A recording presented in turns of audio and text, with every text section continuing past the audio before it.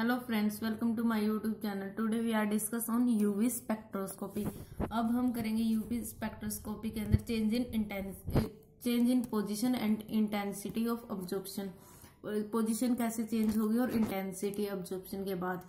जैसे कोई भी आइसोलेटेड क्रोमोफोर ग्रुप ले लिया हमने, जैसे C double bond C C triple bond C ये जो क्रोमोफोर ग्रुप है, वो कल हमने क्रोमोफोर के बारे में पढ़ा था।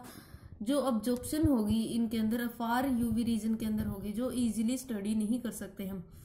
और जो पोजीशन होगी ऑब्जॉर्प्शन मैक्सिमम की, और इंटेंसिटी होगी ऑब्जॉर्प्शन मैक्सिमम की, वो मॉडिफाइड की गई है अलग अलग वे से अलग अलग स्ट्रक्चर के अलग अलग स्ट्रक्चर चेंज करके और सोलवेंट के अंदर चेंज करके। तो हम वो उस तरह के चार इफेक्ट्स पढ़ेंगे। फ़र्स्ट इफ़ेक्ट है बेंथोक्रोमिक शिफ्ट बेंथोक्रोमिक शिफ्ट क्या होता है? ये रेड इसको हम रेड शिफ्ट भी बोलते हैं। इसके अंदर क्या है? ये शिफ्ट करता है अब्जॉर्प्शन मैक्सिमम को लॉन्गर वेवलेंथ की साइड अब हम इस बेंथोक्रोमिक शिफ्ट को कैसे अचीव कर सकते हैं? तीन वे से हम इसको अचीव कर सकते हैं। फ़र्स्ट है by attachment of an auxochrome to the chromophore अब हम ऑक्सोक्रोम को, जैसे ऑक्सोक्रोम ग्रुप है, उसको अटैच कर सकते हैं क्रोमोफोर ग्रुप के अंदर। जो जो क्रोम ग्रुप है O H N H two वो क्रोमोफोर के ऊपर अटैच्ड होंगे और इसके अंदर कंजुकेशन होगी, जो लॉन्गर वेवलेंथ की तरफ़ कर्व को शिफ्ट करेगा। जैसे हमने एग्ज़ाम्पल किया था कल की बेंजीन है बेंजीन के ऊपर हमने एन एच टू ग्रुप लगाया था जो इसके अंदर कंजुगेशन में हेल्प करता था, इसके लोन पेयर्स तो अब ये, इसकी 255 से 280 के अंदर अब्जॉर्प्शन मैक्सिमम शिफ्ट हुई थी लॉन्गर वेवलेंथ की तरफ़ शिफ्ट हुई थी। सेकंड है बाय कंजुगेशन ऑफ़ टू और मोर क्रोमोफोरिक ग्रुप जैसे दो और दो से ज़्यादा क्रोमोफोरिक ग्रुप हैं, उसके अंदर कंजुगेशन करके। भी हम अब्जॉर्प्शन मैक्सिमम को लॉन्गर वेवलेंथ की तरफ़ शिफ्ट कर सकते हैं। इसमें हम एग्जांपल देखेंगे, जैसे one three butadiene one three butadiene इन के अंदर क्या है? दो डबल बॉन्ड प्रेजेंट होते हैं और वो कंजुगेशन के अंदर होते हैं। जैसे इथे, इथाइलिनिक बॉन्ड थे, इथाइलिन बॉन्ड थे, उसके अंदर 170 नैनोमीटर ट्रांजिशन देखी गई थी। हमने ये वेवलेंथ देखी थी इथाइलिन बॉन्ड के अंदर। अब दो इथाइलिन बॉन्ड मिलके वन थ्री ब्यूटाडाइन बनाते हैं तो उसके अंदर जो ऑब्जॉर्प्शन मैक्सिमम है, वो टू वन सेवन नैनोमीटर के अंदर शिफ्ट हो जाते हैं।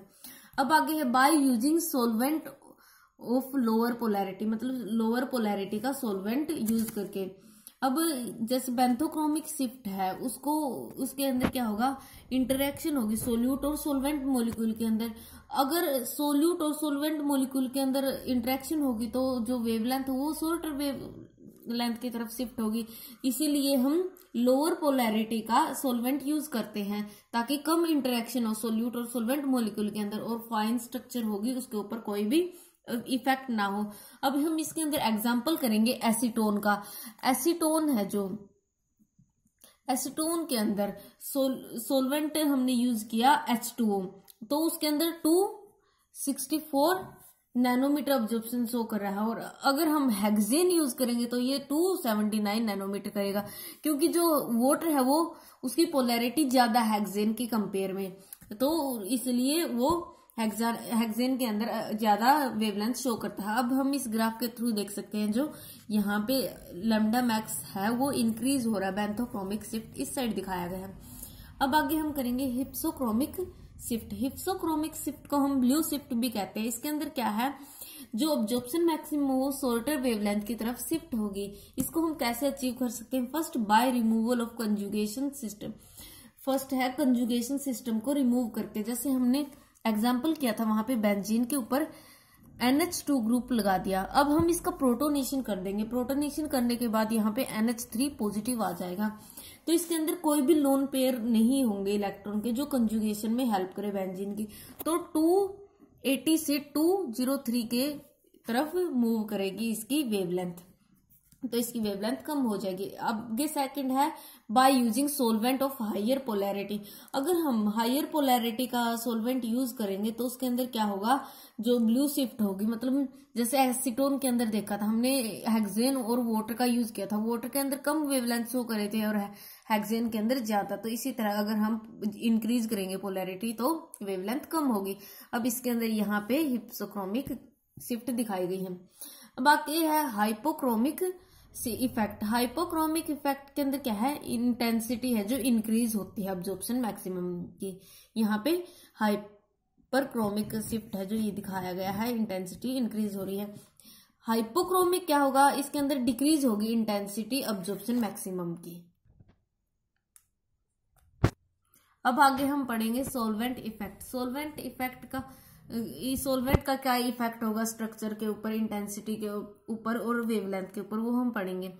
फ़र्स्ट है effect on fine structure fine structure के ऊपर क्या होगा? अगर सोल्यूट मोलिक्यूल और सोलवेंट मोलिक्यूल एक दूसरे के साथ इंटरेक्ट करेंगे तो ऑब्जॉर्प्शन मैक्सिमम का जो कर्व था, जो लेमडा और अब्जॉर्बेंस के बीच कर्व था, वो ब्लर हो जाएगा। और जिसके कारण वो स्मूथ कर्व हमें ऑप्टेन होगा। और जो ये स्मूथिंग आउट होगी कर्व की, वो मोर ज़्यादा होगी पोलर सोलवेंट के अंदर। As compare to non polar solvent जो पोलर सोलवेंट है जो डिजोल्व हो जाते हैं उसके अंदर सोल्यूट मोलिक्यूल के अंदर तो उसके अंदर ज़्यादा स्मूथिंग आउट होगी नॉन पोलर के कंपेयर में। आगे है effect on the position and intensity of absorption maximum position और इंटेंसिटी के ऊपर क्या इफ़ेक्ट होगा? जब हम पोलैरिटी चेंज करेंगे तो इसके अंदर पोजिशन और इंटेंसिटी दोनों के अंदर चेंज होगा। अब फ़र्स्ट है effect on non polar compound अब नॉन पोलर कंपाउंड के ऊपर क्या इफ़ेक्ट होगा? जो नॉन पोलर कंपाउंड है, उसके अंदर कोई भी सिग्निफिकेंट शिफ्ट नहीं होगी। अब आगे effect on polar compound polar compound के अंदर क्या होगा? अब्जॉर्प्शन मैक्सिमम शिफ्ट होगी, या तो लोअर पोलैरिटी लोअर वेवलेंथ की तरफ़ या शॉर्टर लॉन्गर वेवलेंथ की तरफ़। अब आगे ट्रांजिशन देखेंगे हम। अगर एन से पाई स्टार ट्रांजिशन होगी तो इसके अंदर क्या होगा? पोलैरिटी इंक्रीज करेंगे तो सोलवेंट शिफ्ट होगा शॉर्टर वेवलेंथ की तरफ़। पोलैरिटी इंक्रीज करने के कारण एन से पाई स्टार के अंदर शॉर्टर वेवलेंथ की तरफ़ शिफ्ट होगी एब्जॉर्प्शन मैक्सिमम अगर हम पाई से पाई स्टार ट्रांजिशन करेंगे, यहाँ पे पोलैरिटी इंक्रीज करेंगे सोलवेंट की तो यहाँ पे क्या होगा? पाई से पाई स्टार जो शिफ्ट होगी वो लॉन्गर वेवलेंथ की तरफ़। अगर कोई भी ग्रुप मोर पोलर है ग्राउंड स्टेट के अंदर, जैसे ग्राउंड स्टेट ये दो स्टेट है, यहाँ पे ग्राउंड स्टेट ले ली हमने, यहाँ पे एक्साइटेड स्टेट ले ली।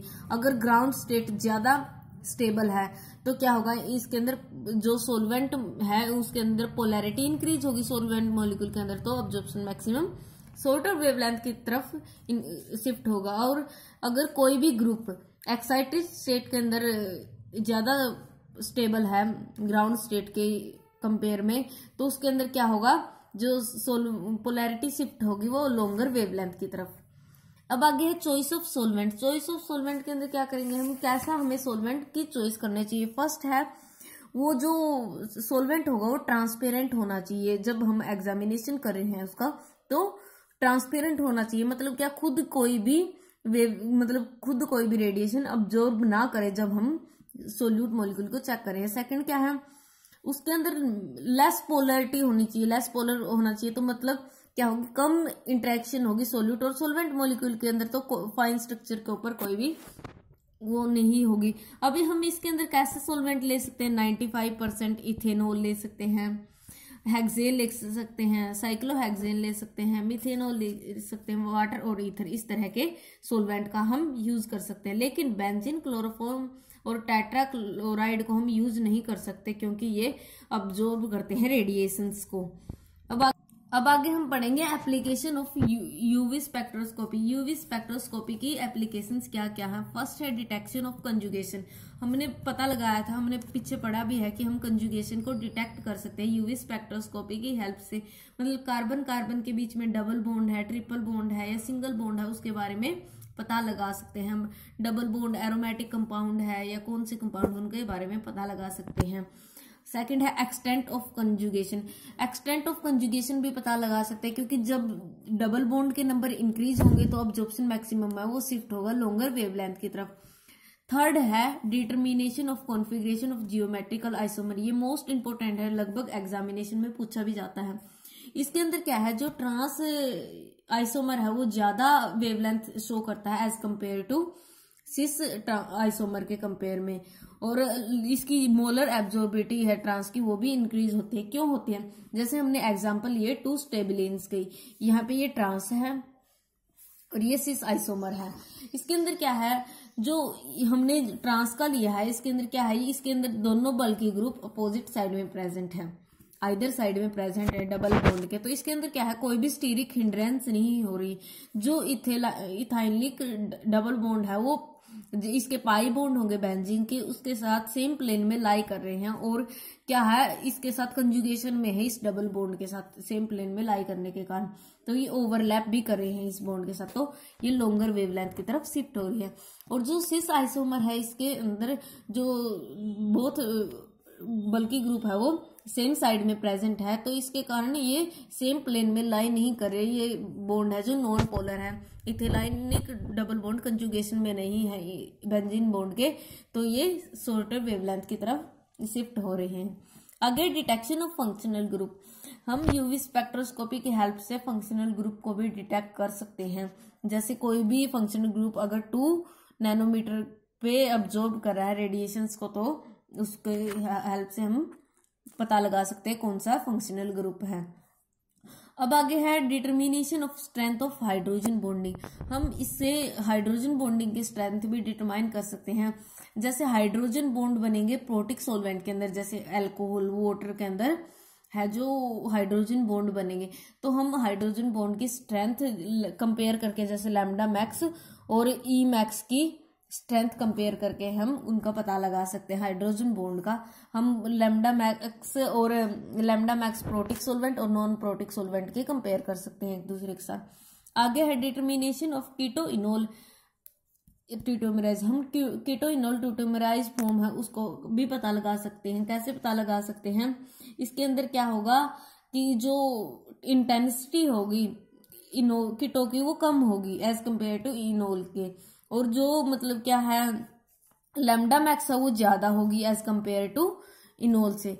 मतलब ये है कीटोफॉर्म ये है इनोल फॉर्म तो इसके अंदर क्या है लेमडा मैक्स ज़्यादा होगी और इंटेंसिटी कम होगी। इसके अंदर इंटेंसिटी कम होगी और लेमडा सॉरी इंटेंसिटी ज़्यादा होगी लेमडा मैक्स कम होगी। अब आगे है क्वांटिटेटिव एनालिसिस हम क्वांटिटेटिव एनालिसिस में भी हेल्प करते हैं। जैसे हमने बियर लैम्बर्ट लॉ में पढ़ा था ए इज़ इक्वल टू अब साइलेंस सी एल तो हम अगर हमें किसी चीज़ की कंसंट्रेशन पता लगानी है तो हम इस वैल्यू से पता लगा सकते हैं। जैसे हमें एग्ज़ाम्पल ले लिया vitamin A vitamin A vitamin A की हम हमें कंसंट्रेशन पता लगानी है तो हम क्या करेंगे?